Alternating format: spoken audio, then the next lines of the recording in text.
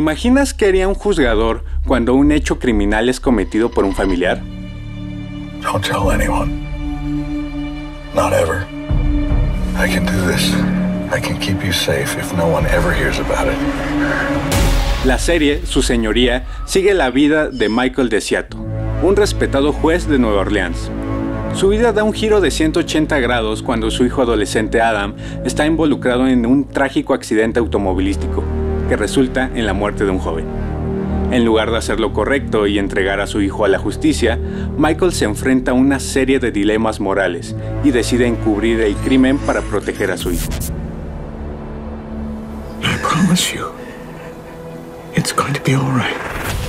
Hoy, en Cultura al Derecho, hablaremos sobre la ética de los servidores públicos, las problemáticas morales y la honestidad junto a la doctora Yadira Alarcón. Comenzamos. Bienvenidas, bienvenidos a una emisión más de Cultura al Derecho. Mi nombre es Diego Guerrero y el día de hoy, bueno, me acompaña la doctora Yadira eh, Alarcón Márquez, quien es secretaria técnica del Pleno del INAI. Bienvenida, querida amiga, bienvenida muchas a esta tu gracias, facultad. querido Diego, de veras, muchas gracias eh, por la invitación y pues sí, me siento en casa totalmente. Gracias. Platícanos qué serie elegiste para el día de hoy y por qué la elegiste. Fíjate que la serie que les quiero platicar se llama Su Señoría, el título en inglés es Your Honor de Paramount, y la escogí porque me parece que plantea un dilema interesante que a, las- a los ojos de los ciudadanos a veces es difícil entender la función jurisdiccional. Y ahorita que está tan en boga el, eh, la función de los jueces, si se deben elegir o no, pues creo que es un buen tema para tratar. La enorme responsabilidad de los jueces y la independencia judicial y cómo debe actuar el juez. ¿Cuáles son los principios de- del juez? Y además, sobre todo en los primeros capítulos, pues muestra la integridad o, o lo- o- o el aspecto que debe tener el juez, pero también es un ser humano y se pueden presentar diversas cuestiones, ¿no? Sí, mira, yo te pediría que me des chance como de darles un poco de Por contexto favor. al público para que sepan de qué se trata la serie y, y a ver si les parece interesante. Fíjate que la historia versa sobre un juez eh, de materia civil, familiar, un hombre intachable que se ha, eh, eh, te, te muestra en las primeras partes de los capítulos cómo frente a asuntos verdaderamente complejos, él trata de no dejarse llevar por lo que las partes les plantean, sino que incluso de manera personal acude a las sedes de los domicilios para verificar que lo que le están planteando sea real con lo que se está viendo en juicio. Te hablo un poco de su, eh, que, se, que realmente se, se involucra con los asuntos que ve. Sin embargo, por cuestiones de la vida, queda viudo al año del fallecimiento de su esposa. eh, al parecer la esposa es atacada por una pandilla en un barrio del Bronx. Su hijo acude a querer eh, dejar flores, el lugar donde falleció su mamá. Y pues obviamente empiezan a llegar los integrantes de Pantilla, él se siente intimidado, sale con el vehículo tratando de huir del, del lugar y por accidente atropella a un joven en motocicleta. Baja a quererlo auxiliar, pero al darse cuenta que el muchacho ya no está en condiciones de ser auxiliable, en un error toma su celular, en vez de pedir auxilio, huye con el teléfono y deja ahí tirado al muchacho. Bueno, pero resulta que el muchacho es hijo de un capo, que es el que controla, pues digamos que a todas las eh, células criminales de, de esa zona.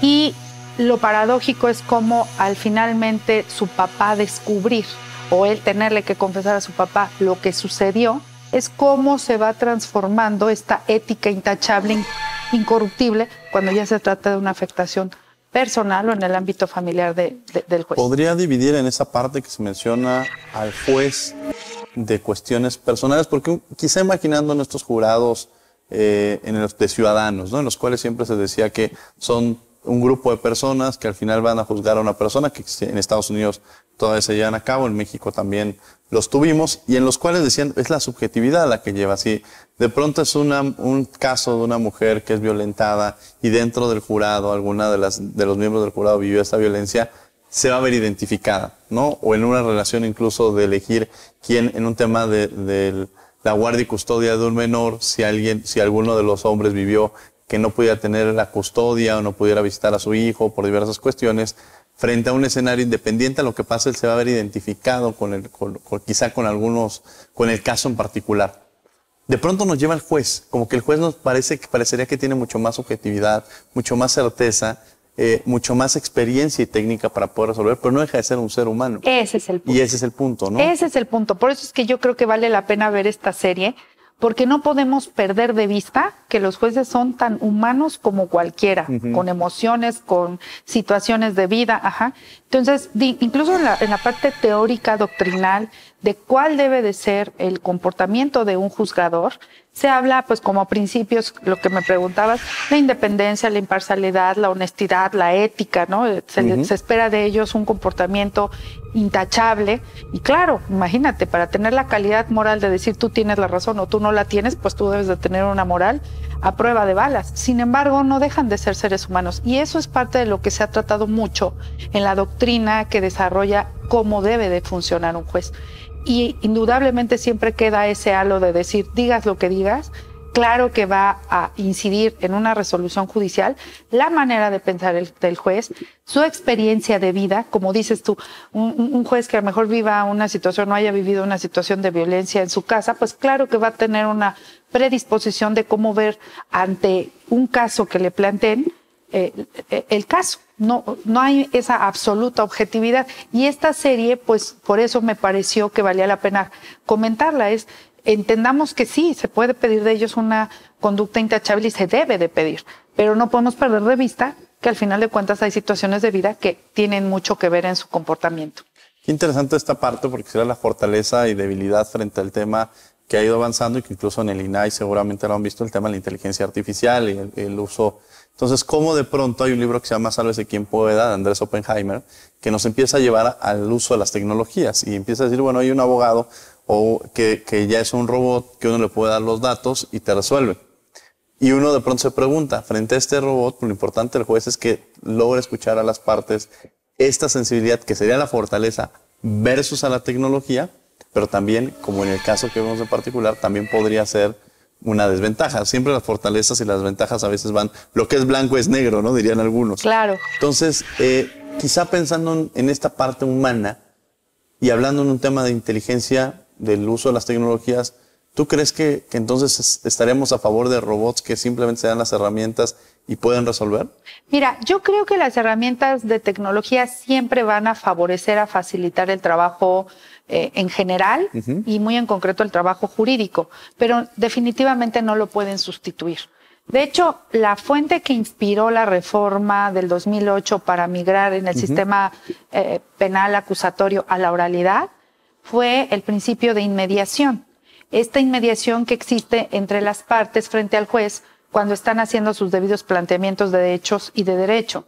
Y una parte fundamental es que el juez tiene que escuchar no solo a las partes, a los testigos, a, los peritos, para poder tener su propio criterio y con base en eso determinar. Eso, sin duda, es prácticamente imposible que lo pueda sustituir la inteligencia artificial. Y que nos lleva un poco también a, las instituciones y al, sistema, porque si nosotros pensáramos o imagináramos muchos casos en los cuales se hace justicia por propia mano, es cuando se enfrentan y dicen, bueno, yo voy a presentar la denuncia de esta persona, y lo corrompido que se puede encontrar el sistema, pues esta persona a los cinco o seis meses va a quedar libre si paga un, dinero en este sistema en el cual existe corrupción.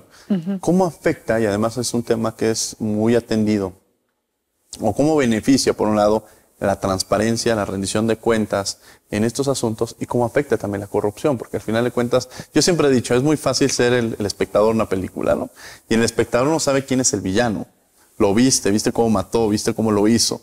Entonces uno puede juzgar y decir, sí es él, ¿no? Pero en un sistema democrático de derechos humanos, pues no tenemos esta posibilidad. O sea, suponemos que él mató, suponemos que sucedió. Entonces no es esta película que se nos presente y a veces deberíamos pues, creer en ese sistema de derechos humanos. Pero cuando este sistema, este Estado de Derecho existe corrupción, existe impunidad, pues de pronto sí genera este interés o esta eh, persuasión de quererse hacer justicia por propia mano, ¿no? Y, en, el, caso particular de la víctima. En el caso particular del juzgador, pues también se presenta otra situación. Bueno, yo creo que, este, que tenemos muchos casos en donde podemos, digamos que ver ya en hechos reales lo que dices tú, que ante la impunidad, eh, cierto sector de la sociedad ha tomado la decisión de tomar justicia por propia mano. El ideal del Estado es que no sea así. El ideal del Estado es que tenga las herramientas suficientes para garantizar a todos que se les administrará justicia. Yo sí creo, por ejemplo, que el haber migrado o el estar migrando a sistemas eh, orales y que sean videograbados ayuda mucho a transparentar la manera en cómo se ejerce justicia. Y en la medida en que sea más transparente y que sea consultable a los ojos de cualquiera, pues vas acotando eh, de manera importante el que puede existir corrupción. Por ejemplo, incluso desde el modelo de organización de justicia, eh, el que no tengas como tal un juzgado y un juez eh, con los que podrías de alguna manera llegar a algún acuerdo y ya sabes que va a funcionar de X o Y manera, y que más bien tengas unidades de gestión y que los jueces ni siquiera sepan qué asunto les va a llegar. Simplemente 24 horas antes les notifican, te toca atender tal audiencia y ahí en audiencia se imponen del caso, también dificulta muchísimo el que tú puedas corromper a un juzgador. ¿no? Lo, complica. A ver, queriendo se puede, pero lo complica. Y de alguna manera esto también se, se puede ver en la serie, porque en la serie incluso se ve cómo está el juez en plena audiencia, le están queriendo dar como línea de cómo tiene que resolver está suena y suena un celular en el cajón en donde están tratando que él conteste, imagínate, en plena audiencia, no pueden tomar un dispositivo y, estar escuchando qué tienen que hacer, ¿no?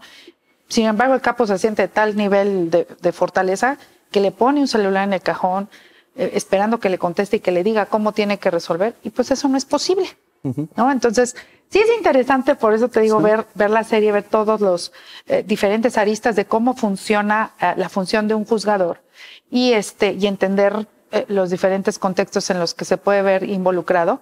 Pero sin duda, el hecho de que haya este, esta nueva organización, que se videograben las audiencias y que todo sea oral, pues va limitando muchísimo la posibilidad de corrupción. Vamos a tener que ir a un corte, pero no se vayan, regresamos aquí a su programa Cultural Derecho.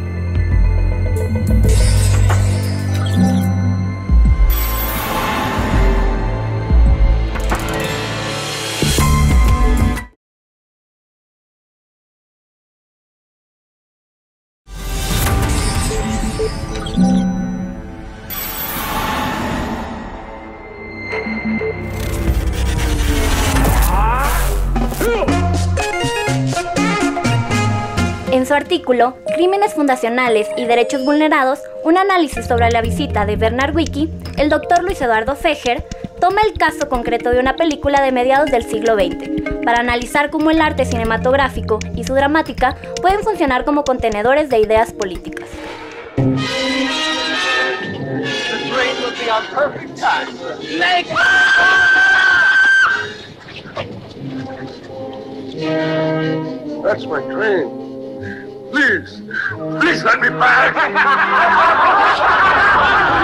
Utiliza esta idea para iluminar el mecanismo dramático de la visita y conectar la cinta con su trasfondo histórico. Realizado en 1964, el filme es todavía una respuesta al aterrador paso del nazismo por Alemania. Otro filósofo al que recurre Feger es a Thomas Hobbes. A partir de sus ideas, plantea cuál es el conflicto dramático de la visita. Los personajes se debaten entre el derecho a la vida y el derecho a la seguridad, no saben si aceptar la pena de muerte o someterse a un entorno violento, donde la ambición por el dinero provoca que los pobladores deseen asesinar a uno de sus vecinos. Estamos de regreso en Cultura del Derecho, platicando de esta serie, Su Señoría, Your Honors, eh, y nos acompaña la doctora Yadira Alarcón Márquez, quien es secretaria técnica del Pleno del INAI, y con quien estamos conversando sobre esta serie que además nos, nos lleva a los dilemas del juzgador, de la parte humana del juzgador, de la ética, eh, también de la justicia, pero también cómo funciona un sistema bajo creer en ese Estado de Derecho. Y una de las preguntas, entrando a este dilema del juzgador, de cómo funciona el juzgador, pues precisamente cuáles tendrían que ser las características de esta parte de la ética, como tú ya mencionabas, que parecería incluso el personaje del, del juez, que es el prototipo del juez que uno aspira a tener, ¿no? Claro. Pues mira, Diría yo que me tendría que ir un paso atrás antes de las características que debe tener un juez. ¿Cuáles deben de ser los mecanismos para seleccionar a los mm, jueces? Interesante, sí. Sobre todo ahorita que está muy en boga de que si deben de ser electos por voto popular o no. Hay que decir que hay países en donde eh, a los jueces se les elige de manera popular, pero previo análisis de ciertas cualidades. O sea, para ser candidato no puede ser cualquiera. ¿Por qué? Porque, por ejemplo, eh, los Estados Unidos, que son de alguna manera el modelo constitucional que México copió, desde el federalista, que es este texto de Hamilton y Jay, donde plasmaron cuáles eran los principios inspiradores de la Constitución de los Estados Unidos, hablan de manera muy específica de que el juez tiene que ser un hombre especializado, que el juez tiene que ser una persona con ciertos conocimientos y pericias y por lo mismo no puede ser entonces electo directamente por el pueblo porque pues obviamente las personas poco conocen de la función jurisdiccional. A mí me gusta que hoy se ponga en el debate esta cuestión de si se deben o no elegir a los jueces, porque lo importante es que la ciudadanía entienda la importancia de la función jurisdiccional y que así como han puesto mucha lupa de transparencia en el Ejecutivo y las compras gubernamentales, en el Legislativo y los viajes eh, de los legisladores, también lo pongan en el judicial, cómo le hacen los jueces para emitir sentencias. Entonces, volviendo un poco a la pregunta, fíjate que eh, ha sido un dilema eh, eh, de, de, alguna manera de estudio teórico, ¿qué debe de considerarse para elegir a un juez?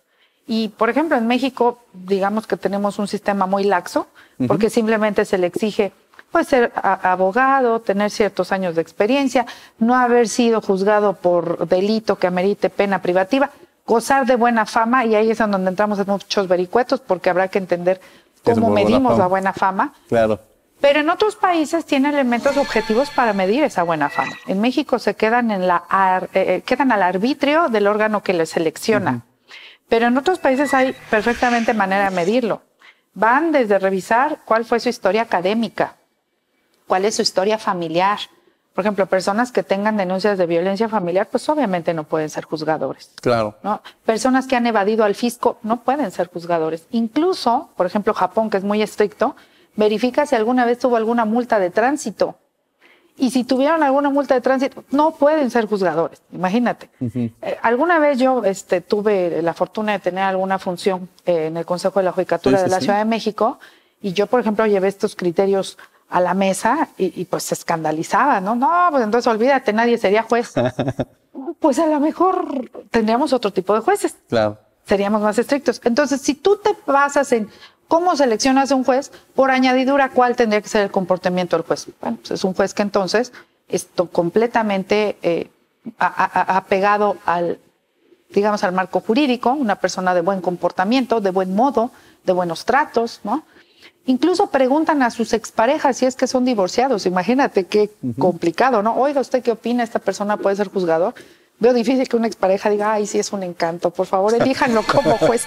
Pero hasta ese nivel de análisis llega. Entonces, ¿qué esperamos de una persona que sea juzgadora? Que sea, que sea mesurada, con mucho temple, que sea honesta, que no se deje presionar, porque ese es el otro tema. Un juez tiene que ser independiente. Un juez que tú puedes ir y presionarle de alguna u otra manera, por ejemplo, con un tema personal, pues, ¿dónde va a estar la objetividad de su criterio? Por eso te decía yo que es difícil sustituir a un juez con la inteligencia artificial, que puede ser una buena herramienta, te voy a decir en que en lo que todo mundo usa, por ejemplo, al personal este de apoyo, que te haga las transcripciones de los antecedentes, pero ya el criterio de decisión, eso solo le corresponde al ser humano, porque está resolviendo casos de seres humanos. Y una persona templada, mesurada, honesta, pues ese es el ideal que esperamos todos de los juzgadores.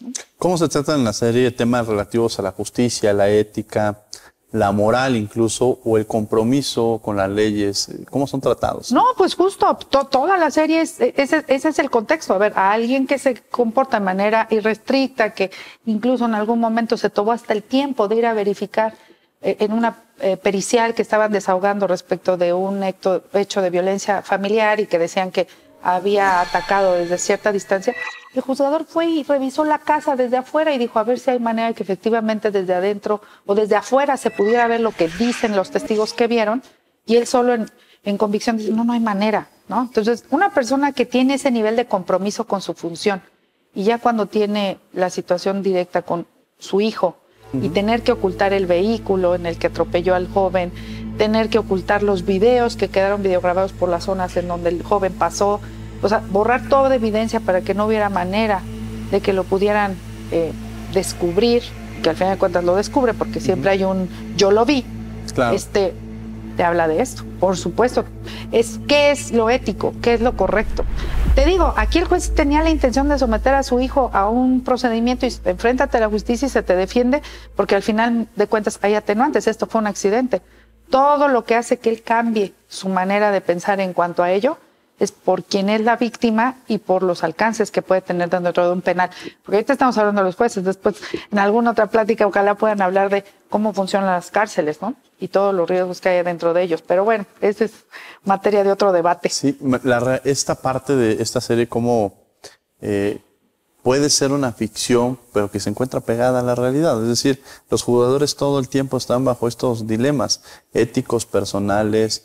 ¿Se justificarían también los ideológicos? De pronto, cuando en este, pensemos quizá en el sistema judicial en Estados Unidos, en los cuales es muy claro cuando eh, un miembro de la Corte Suprema pues es asignado por un partido demócrata o republicano y su voto va en, en, ese sentido. Es incluso algo que ya se conoce y se vive en el sistema estadounidense, bajo el esquema del sistema estadounidense.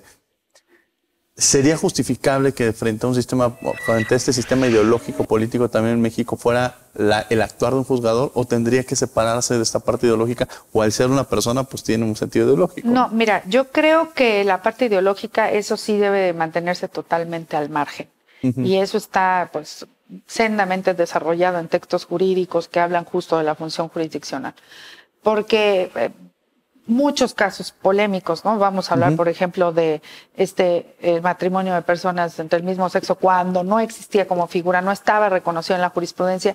Pues imagínate que un juzgador hubiera involucrado su punto de vista o su ideología sobre el tema, dejando al margen la posible violación a derechos humanos. Pues eso no se puede, ¿no? Claro. O este, o bueno, se me ocurren una cantidad de, ejemplos en donde si tú dejas que la ideología del juzgador se involucre en la decisión, podemos llegar a rayar en violación a derechos de las personas. Entonces yo creo que el tema de ideología pues sí es un tema que está muy trabajado y pues su punto de vista particular lo tienen que dejar afuera de, de la sala y entrar y resolver conforme al marco jurídico que esté rigiendo pues en el país donde estén ejerciendo, ¿no? Claro. Eh, quizá uno de los grandes temas, hemos hablado de los juzgadores, pero también tú en tu enorme responsabilidad de servidora pública has tenido que enfrentarte a estos temas, eh, seguramente en los cuales eh, debe permear y debe funcionar de acuerdo a la ética, a los principios, que es algo que seguramente te rige en tu vida cotidiana y te deben actuar. Eh, ¿Por qué es importante hablar de la ética y los valores personales en el actuar de los servidores públicos y cómo quizá tener un filtro referente a esto? Mira, pues justo por eso yo también escogí esta serie. Yo creo que, por ejemplo, un juzgador es un servidor público, pero todos los servidores públicos nos vemos de alguna manera eh, empapados de la misma situación esta que se plantea en la serie, ¿no? Al final de cuentas, tenemos obligaciones como servidores públicos, tenemos todo un marco jurídico que nos regula, hacemos una protesta del cargo cuando empezamos a iniciar una función y es súper importante, sí creo yo, que la ética sea como la bandera sobre la que nos podamos sostener. Porque en el momento en que un servidor público empieza a flaquear, este, o sobre todo los que están en áreas de ejercicio de presupuestos, ¿no? este, empiezan a dejar que la ambición les gane, en ese momento se rompe uno de los principios más importantes del servicio público, que es la honestidad. Entonces, yo sí, de verdad creo que es una serie que sirve, partiendo de un ejemplo de un juzgador, pero que sirve para cualquier persona en su vida. O sea, servidor público más porque tienes una responsabilidad doble. Cualquier persona en un ejercicio de una función profesional tiene que mantenerse de manera correcta y siempre haciendo lo correcto. Pero los servidores públicos tenemos doble compromiso. Primero porque nos pagan del presupuesto y segundo porque servimos de alguna forma a todas las personas que pagan nuestro sueldo. Entonces, pues tenemos doble compromiso, representamos al Estado, entonces con mayor razón estamos con un compromiso de, ser muy respetuoso del marco jurídico y siempre tratando de ser, pues como la palabra lo dice, serviciales porque somos servidores públicos, ¿no? Siempre tratando de poner nuestra mejor cara. Yadira, muchas gracias por haber estado con nosotros aquí en Cultura del Derecho. No, al contrario, muchas gracias. Gracias a ti, querido Diego. Buena tarde a todos. Y gracias a ustedes por acompañarnos en una emisión más de Cultura del Derecho. Los martes, los martes estamos en Radio UNAM, en 96.1 FM a las 4 de la tarde en Derecho a Debate. Cumplimos siete años, pero por lo pronto, que tengan buen día.